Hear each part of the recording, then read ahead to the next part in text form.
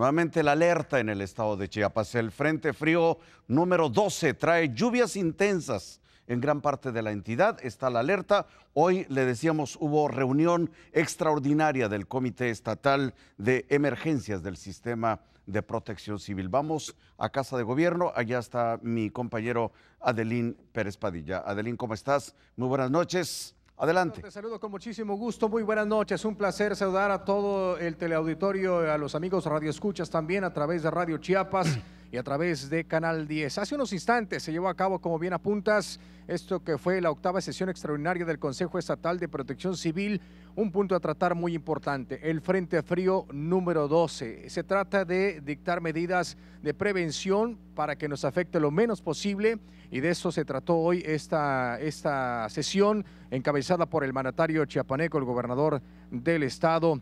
Eh, Manuel Velasco Cuello y por supuesto también estuvieron presentes distintos eh, titulares de las dependencias de gobierno, eh, titulares de mm, delegados federales también aquí en el estado de Chiapas, cada quien rindiendo su parte y su acción a, a realizar para que nos pegue lo menos posible, sobre todo en algunas zonas específicas del estado de Chiapas. Y es que déjame decirles que se anunció también alerta naranja para dos regiones del estado, lo que es la zona norte y eh, también Mezcalapa.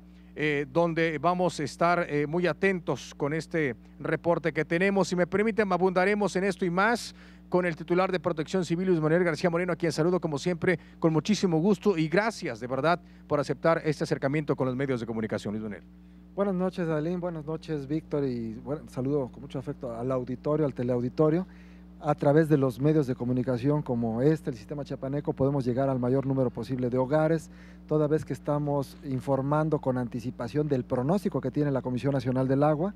El Frente Frío número 12 viene intenso, estará provocando lluvias intensas en los municipios en la región norte y Mezcalapa del estado. Me refiero a los municipios de Reforma, de Juárez, de Pichucalco, de Ostoacán, de la región Mezcalapa, Tecpatán, Copainalá, mismo Mezcalapa.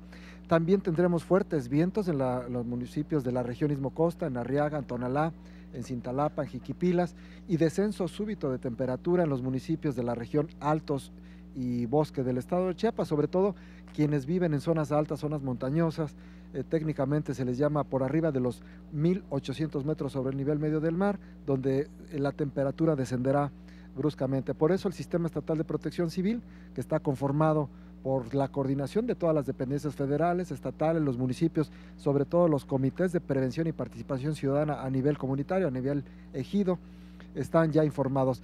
Por otro lado, estamos reiterando las recomendaciones en coordinación con el sistema de, estatal de salud, con el sistema DIF, de eh, abrigarse de mejor manera, sobre todo poner mucha atención en el abrigo de los bebés, de personas de la tercera edad, de evitar los cambios bruscos de temperatura, quienes viven en zonas eh, de montaña, evitar introducir al interior de la vivienda durante la noche, la madrugada, los anafres, los calentadores, porque esto produce gases de dióxido, monóxido de carbono que pueden ser muy peligrosos para la salud. Y bueno, en la medida que todos estemos coordinados, eh, las precipitaciones pues no las podemos evitar, pero hay que estar muy al pendiente del nivel de los ríos o de los, de los arroyos. Tenemos previstos los refugios temporales, también las personas pueden ser trasladadas a casas de familiares o de vecinos en zonas más altas, zonas más seguras. El gobierno del estado cuenta con un plan específico de protección civil hay que identificar previamente cuál es el refugio temporal que nos eh, corresponde, hay que acercarse a protección civil de cada uno de estos municipios y para quienes tienen acceso al Internet tenemos esta información en la página de Internet y bueno, estar muy al pendiente de los pronósticos.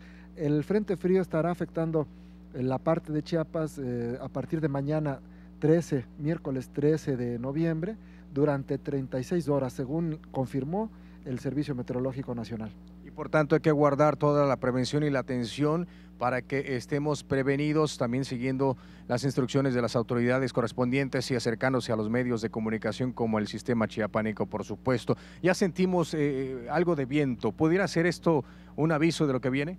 Desde luego la masa de aire polar va descendiendo de norte a sur y bueno, va empujando toda la humedad que encontró a nivel del Golfo de México tenemos ahorita rachas de viento de 35, 40 kilómetros por hora. Sin embargo, se esperan eh, vientos sostenidos de 70 kilómetros por hora y rachas por arriba de los 100 kilómetros por hora, esto en los municipios de Arriaga, Tonalá.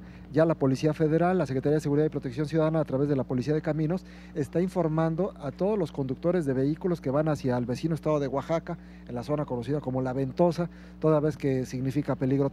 Incluso probablemente durante algunas horas, el momento más crítico, se suspenderá la circulación de este tipo de vehículos.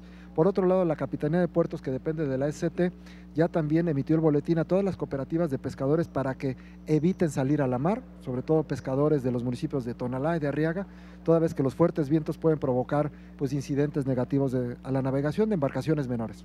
Muy bien, Víctor, te escuchamos. Adelante. Eh, eh, muy buenas noches, Adelín. Eh, Luis Manuel García Moreno, una pregunta. está la alerta naranja para la zona norte y Mezcalapa. ¿Qué pasa con el resto del estado de Chiapas? ¿Qué pasa con el resto de Chiapas? Está la alerta en la zona norte y Mezcalapa. Para las regiones eh, Maya y Tulija tenemos alerta amarilla, el resto del estado es una alerta verde. Eh, recordemos que el procedimiento estatal de alerta por lluvias en Chiapas depende de la cantidad de precipitación que se pronostica y esto eh, va del color azul, que significa el peligro mínimo, pasando por el color verde, amarillo, naranja y finalmente rojo que sería peligro máximo, de tal manera que en cada uno de los colores una especie de semaforización para que la población identifique el nivel de riesgo, el nivel de peligro, pues que la población identifique quienes viven en los municipios de las regiones norte, eh, me refiero a los municipios de Reforma, Juárez, Ostoacán, Pichucalco, en la parte Mezcalapa, Tecpatán, Copainalá, mismo municipio de eh, Mezcalapa, pues en la alerta naranja deben extremar precauciones, sobre todo si van a viajar durante el momento de la lluvia, que se esperan lluvias intensas a torrenciales, pues eh, si no es muy urgente la necesidad de viajar, hay que posponer este viaje. Recordemos que este frente frío pasará rápidamente, son 24 a 36 horas y después regresamos prácticamente a la normalidad. En el resto del estado, incluyendo Tuzla Gutiérrez, la zona metropolitana, se sentirá un descenso de temperatura, pero no significa mayor peligro. ¿Cuántos frentes, perdón, cuántos frentes fríos nos quedan? Estamos en el frente frío, número 12, que es el que esperamos. En toda la temporada se esperan alrededor de 40, 44 frentes fríos. Estamos, recordemos que los frentes fríos iniciaron el 21 de septiembre, se empalmó con la temporada de lluvias y ciclones tropicales que termina en noviembre y pues prácticamente la temporada invernal que inicia el 21 de diciembre formalmente, pues está anticipada. Estamos eh, ante esta situación de cambio climático, lo estamos viviendo, lo estamos padeciendo, pero también lo estamos enfrentando de manera organizada. Muy bien, eh, licenciado Luis García Moreno, director del Sistema Estatal de Protección Civil en el Estado de Chiapas, muchísimas gracias como siempre por su tiempo, por la explicación. Y esto fue, a grosso modo, lo que se vertió en esta octava sesión extraordinaria del Consejo Estatal de Protección Civil. Ya mañana estaremos dando parte también, un seguimiento al igual que lo hacen las autoridades correspondientes a este Frente Frío número 12, lo haremos también como Sistema Chiapaneco de Radio, Televisión y Cinematografía. Muchísimas gracias, muy buenas noches, regresamos contigo, Víctor, gracias. Muchas gracias. Adelín. Vamos con más información. En este acto, el gobernador Manuel Velasco Cuello fue claro, hemos sorteado huracanes, ciclones y con saldo blanco, y esto porque se han tomado las medidas preventivas debidas, y es lo que se está haciendo justamente en este momento. Si le parece, vamos a escuchar al gobernador Manuel Velasco Cuello. Las medidas que estamos tomando en estos momentos son medidas que ya tomamos anteriormente cuando, bien aquí lo han señalado, en sus comentarios y en sus exposiciones que cuando tuvimos el fenómeno del huracán Bárbara en el mes de mayo, cuando tuvimos en el mes de septiembre el huracán y el ciclón Ingrid y Manuel, se tomaron medidas de prevención. Se tomaron medidas de prevención por parte de todas las dependencias del gobierno del Estado y a su vez también de las dependencias federales y el invaluable apoyo del ejército mexicano, que de nueva cuenta agradecemos su apoyo y su solidaridad con los chapanecos y de la Marina. Bien, efectivamente, eh, los eh, fenómenos naturales no se pueden detener, eh, no se pueden, bueno, predecir sí, lo importante es estar prevenidos. Por eso está protección civil y esta cultura que debemos tener todos de la prevención, como decía el gobernador Manuel Velasco. Escuchemos.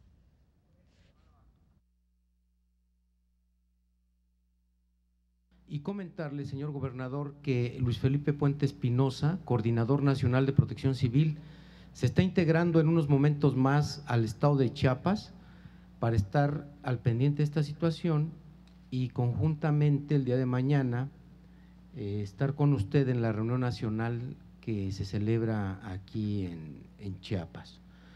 Asimismo, manifestarle, gobernador, y reconocerle el compromiso, responsabilidad y entrega que se ha manifestado en el estado de Chiapas por atender prioritariamente los protocolos de prevención que justamente han privilegiado lo que acaban de comentar varios de los funcionarios al respecto de saber que en Chiapas, a pesar de la exposición de eventos hidrometeorológicos, ha tenido un saldo blanco hasta el momento. Le decíamos la alerta máxima por el Frente Frío número 12 que va a impactar y va a afectar los estados de Veracruz, Oaxaca, Chiapas, por supuesto, Tabasco.